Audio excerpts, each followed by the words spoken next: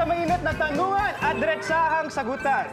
Dito sa Trip to the Hot Seat at ang mapalad ng unang uupo sa ating hot seat ay si Darren Espanto. Yeah! Yeah! Yeah! Lahat na, di ba? Okay. po. Come on. Okay. Dinala ko pang pension. Makapag-cheer-cheer tayo. sus. Okay.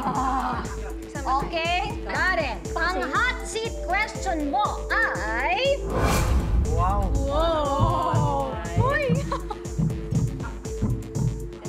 Bukod sa pagiging close friends, ano talaga ang status ninyo ni Cassie?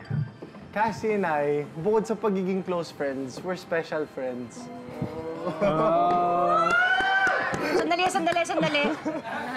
Ano ibig sabihin ng spatial friends? Hindi, syempre, napag-usapan naman na rin po namin ni Cassie, like, even before that, um, parang kahit ano pong mangyari, we're gonna be a part of each other's lives na even in the long run. And it's something that's... No, it's it's very genuine. May pagano There's- no, it's very genuine lang naman po. And, uh, ayun. Ay, ba't ako umiyak? Ayaw nga eh. Ay, mali, mali, mali. Ay, sorry, continue. Yun lang, yeah, yun nga, going back po. Everything's just very genuine. It's not like we're rushing anything that's happening. And we're just always there for each other, supporting each other. And it's not like, um, yun nga po eh, kasi parang we'd be lying if we'd, we'd say na, oh dad, we're just, we're just acquaintances or we're just friends, you know. Yeah. Special friends Special friends. without malice. Or with malice. Grabe naman yung hot seat na yan. Masyado kang ano, Ah, umiinit. pinagpawisan ako, mabe. Hindi, ano, That's Hindi it. nga because hindi ko maintindihan ko bakit ayaw maniwala ng mga tao na you guys are just friends or special friends. Parang sinasabi nila, that's the usual showbiz answer, na tinatago nyo lang, na secret lang. Of course, it's what comes with our profession nga po. Dito sa industriya naman natin, you just have to be able to, you know, always be able to give answers. Tsaka, lagi namang nasasagot. Yeah. Pag tinatag- tinatanong po kami. Yeah. Yeah. And it's not like we're we're hiding anything. Yung special friend ba, pwede ba yung special friend na yon not necessarily na boyfriend or girlfriend ninyo? Yeah. Can you have a boyfriend Yes. and a girlfriend at the same time a special friend? Yes, Oo. definitely. Yun nga po eh, kasi Ah, Okay. you know, a lot of people have issues with Cass and I being with our own different friend groups outside of our circle of friends. Right, right, right. And they can't grasp the fact na pwedeng best friends lang po namin yung... Or special Dahil- friends, Opo, right? yun Then nga you po eh. with other So, friends. pwede pala yung special friends without malice. Yes. Yes. Platonic. Okay. Platonic Platonic. Platonic. Special- Ah, okay, Something. got it. Po eh. That's true. Lang Tayo bang lahat ay may special friend? Yes. Sa ngayon? Opo.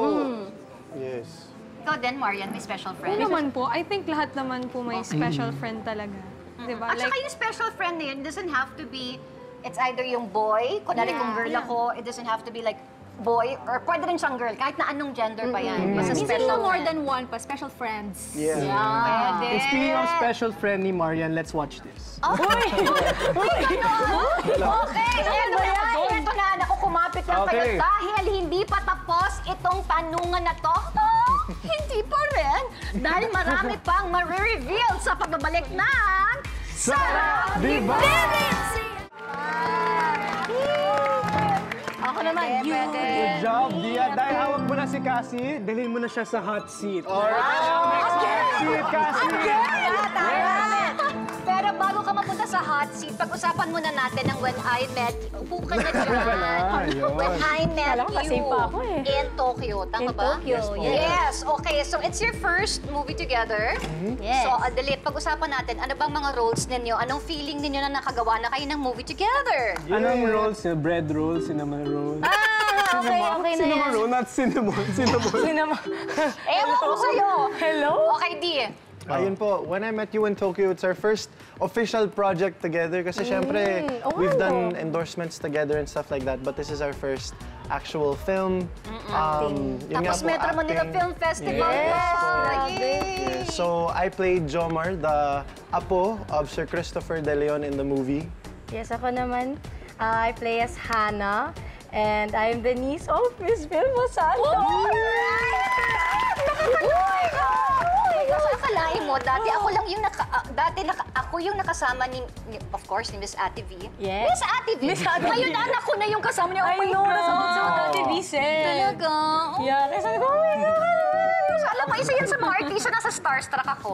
Di ba Yeah, parang when you true. see her, parang, ay, That's a star right I there. know, Parang- parang di mo alam kung ano sasabihin mo. Ikaw, ah, ah, ah, ganun, ganun. Oh, So, ito na nga. So, kailan papalabasin ang When I Met You? So, ang When I Met You in Tokyo po ay papalabas sa Metro Manila Film Festival this December 25 in cinemas nationwide. Again, this is starring uh, Sir Christopher De Leon and Miss Vilma Santos. And kasama ko po ay uh, ang apakagandang nilalang na si Wow. Cassie Legaspi. Wow. Wow. Wow, thank you. Fairness sa mga ka today, ah. Haba ng hair mo, ah. Oo, napakapaka na nga namin. Wait lang. Sorry, sorry, sorry. Sorry. Okay, nang dahil dyan, nakaupo ka na. Okay, go. Eto. Ang hot seat question mo ay... Parang Oh, nahuli, yeah. ah. It Okay. is. Maria Cassandra Villarreal Gaspi. Naku naman. May full name. Ito, so far, ano ang pinaka matinding pinagdaanan ng friendship or relationship ninyo ni Darren at paano nyo ito hinandle? Ay, natatawa sila. Ay, ano. Parang ang dami nating naisip.